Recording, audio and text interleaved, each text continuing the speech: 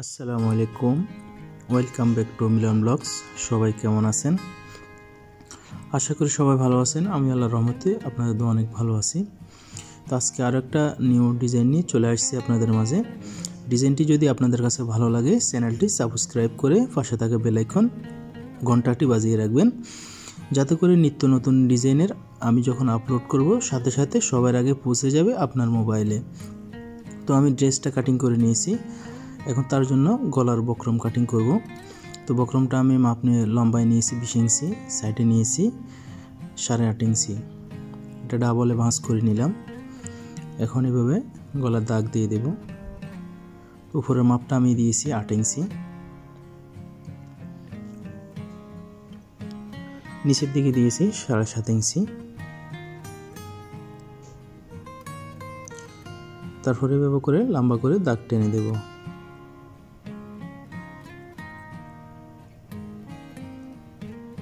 তারপরে এখানে এই জায়গাটা এভাবে গোল করে রাউন্ড করে নেব।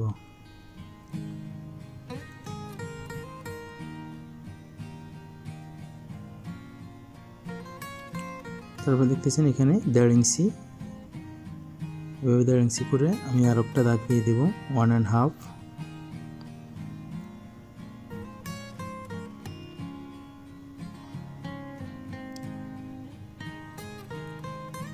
তারপর এই জায়গাটা। দেড় ইঞ্চি করে আর একটা দাগ দিয়ে দেব। এভাবে করে দেড় ইঞ্চি অনুযায়ী আর একটা দাগ দিয়ে দেব।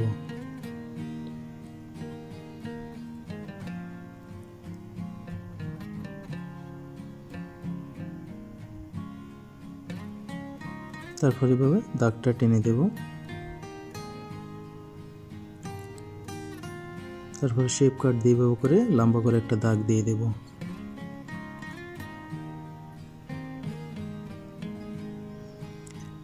এখন আমি দেখতেছেন একটা সেভেন আপের মুক্কা নিয়েছি। এই মুক্কাটা দিয়ে এখন আমি রাউন্ড করে দাগ দেব। তবে এই মুক্কাটা হাফ ভিতরে রাখবেন হাফ বাইরে রাখবেন।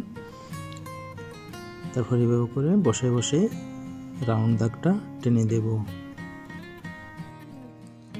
তারপরে এভাবে করে দাগটা টেনে দেবেন। মুখাটা বসাই হাফ ইঞ্চি বা হাফ বাইরে থাকবে হাফ ভিতরে থাকবে মুখাটার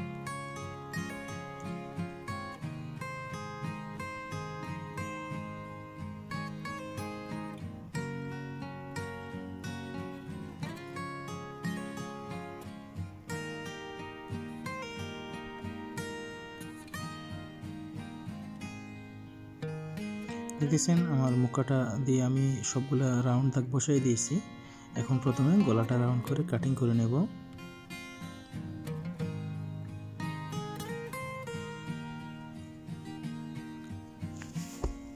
তারপরে এভাবে করে রাউন্ডে রাউন্ডে যে আমি কলমের যে দাগটা দিয়েছি রাউন্ডে রাউন্ডে এভাবে করে রাউন্ডে রাউন্ডের ভিতরে কাটিং করে নেব।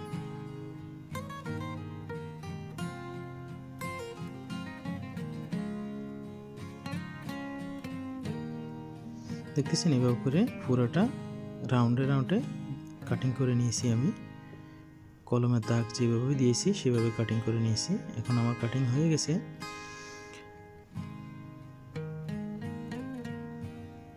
এখন দেখতেছেন আমি এই কালারের কাপড়ের উপরে আয়রন দিয়ে প্রেস করে এই বক্রমটা বসায় নিয়েছি। এভাবে করে কাপড়টার উপর আয়রন দিয়ে প্রেস করে বসায় নিয়েছি। এখন এই যে রাউন্ডে রাউন্ডে এভাবে করে ড্রেসের উপরে বসবে গলাটা। এখন আমি নিচে আর একটা কাপড় দিয়েছি। তো এখানে দুই ফাট নিচে একটা ফাট উপরে আর একটা ফাট এখন আমি রাউন্ডে রাউন্ডে এভাবে করে বক্রমের মুখে মুখে সেলাই করে নেব।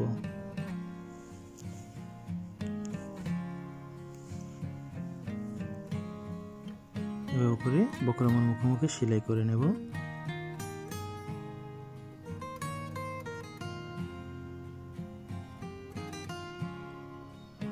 এভাবে করে বকর মুখোমুখি সেলাই করার পরে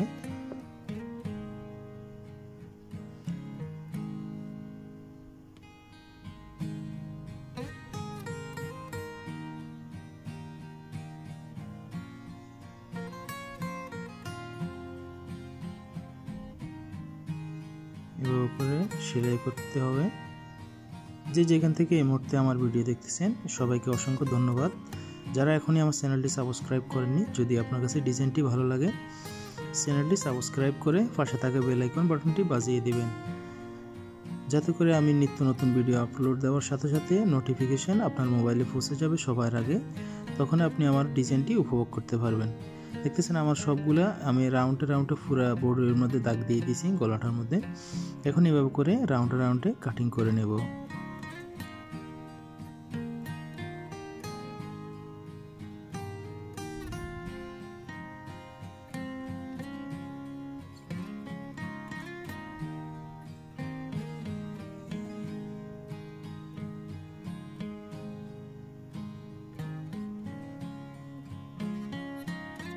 এই সেটটা যেমন কাটিং করে নিয়েছি, ওই সেটটাও এরকম রাউন্ডে রাউন্ডে কাটিং করে নেব।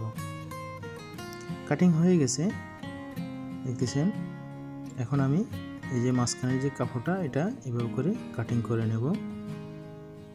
তারপর এই সাইডটাও এভাবে কাটিং করে কাপড়টা ফেলে দেব।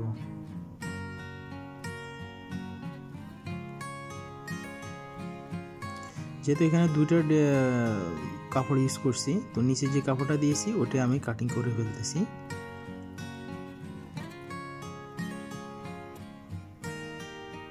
তারপর এভাবে করে পোস্ট লাগিয়ে দেব, তাতে করে পাল্টাতে আমার ইজি হবে।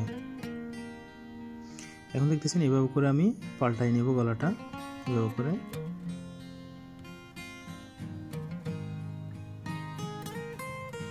এভাবে করে পাল্টাইয়ে তারপরে আয়রন দিয়ে প্রেস করে নেব।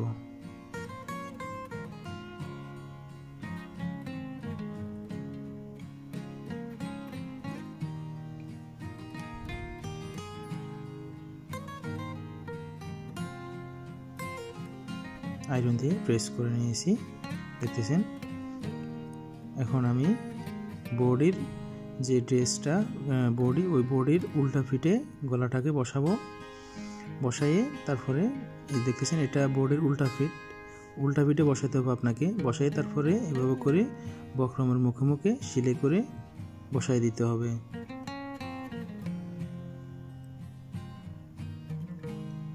এভাবে করে ফেস্টিংয়ের মুখোমুখি সিলাই করবেন।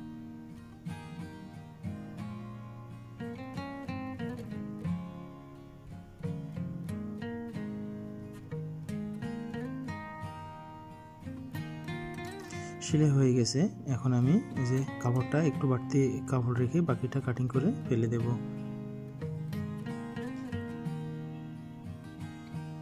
তারপরে গলাটাকে এভাবে করে পাল্টাইয়ে ডাইন ফেটের দিকে নিয়ে আসব। তারপরে আয়রন দিয়ে প্রেস করে আবারও গলাটাকে বসাই দিতে হবে, তাতে আপনার কাজের ফিনিশিং ভালো আসবে। দেখতেছেন আমি আয়রন দিয়ে প্রেস করে নিয়েছি।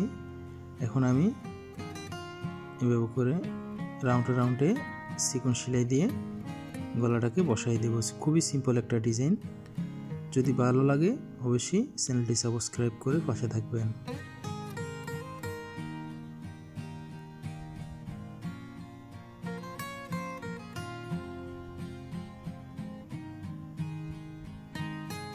এভাবে রাউন্ডে রাউন্ডে সেলাই করে পুরো গলাটার মধ্যে বসাই দিতে হবে।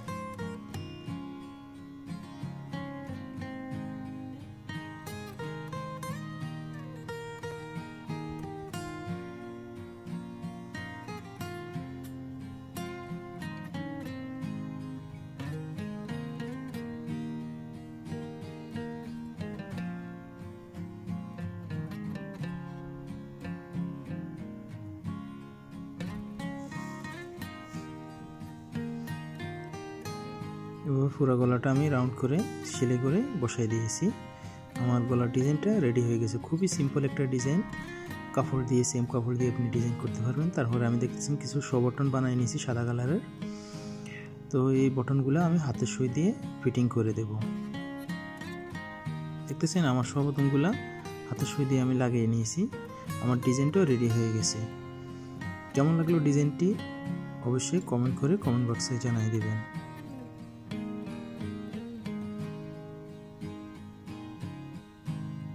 আজকের মতো বিদায় নিলাম। সবাই ভালো থাকবেন, সুস্থ থাকবেন। আমি এবং আমার ফ্যামিলির জন্য দোয়া করবেন। আল্লাহ হাফেজ। আসসালামু আলাইকুম।